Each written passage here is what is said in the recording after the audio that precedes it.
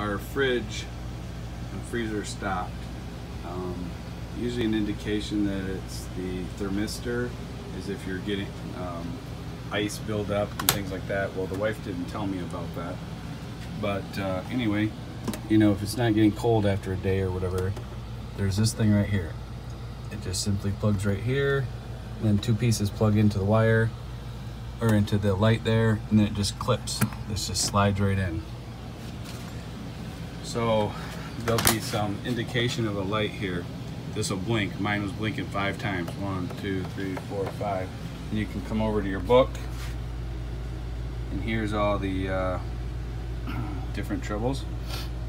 well, anyway, um, the end, this is the part number. This is the metal clip. It was actually only half that price. But the uh, type of fridge here is a Norcold N811.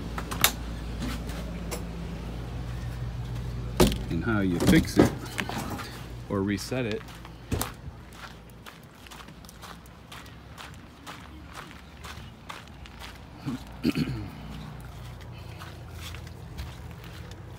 This panel you just twist these and it pulls right off and it gets you to here. This is the back of the fridge you take this off?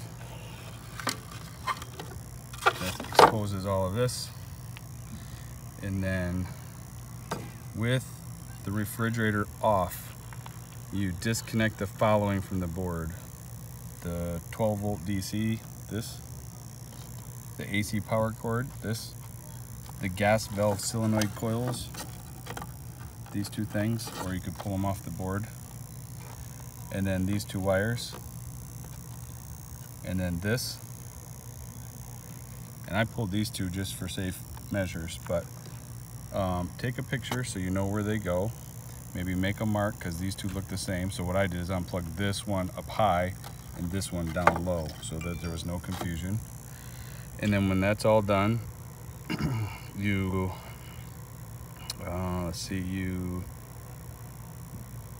reconnect them all turn the refrigerator back on and then you take a piece of wire any sort of insulated wire and it's pin 15 which is kind of weird because I think this is either upside down or they count backwards but so this would be 16 so there's 8 1 2 3 4 5 6 7 8 9 10 11 12 13 14 15 16 16th one I don't know if you can see but it's the far top right that's purple.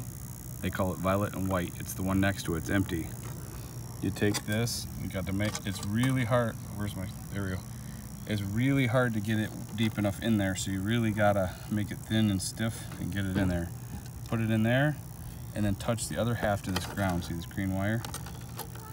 From here like that. Touch that and then put this piece in there and hold it there. And between 10 and 15 seconds you'll hear a distinct distinct click click. A couple click one or two clicks and that resets the whole unit.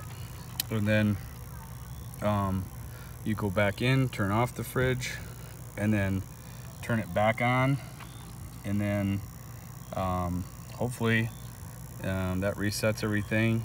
And if not you read the code again. Well my code started switching to then um, what was it? One beep every three seconds. And that was um, the thermistor code so originally mine was beeping five times which means it's not cooling so then I reset the whole point of this is okay it was not cooling in order to reset it to give me the correct code I did all that it reset and then it gave me a code blinking once every three seconds, which if you look at the very beginning of the video, you'll see what they all mean. But that was indication of a thermistor. And the thermistor was super easy to change. Like I showed you, it was just a clip. And then there was two push-ins like these up to light the light bulb up. And, um, and then you just, literally it's like a pinch pin. You just slide it in one of those fins and you're done. So I turned off the fridge to do that install that, turned it back on, and as you saw earlier in the video, the green light is solid all the time, and I believe my fridge is fixed. This can go back on. There's just like a couple bolt holes, and that's it. This is the gas if you're gonna run gas. So mine was off for whatever reason. This is on, I think up is off. But all good now. 20 bucks fixed.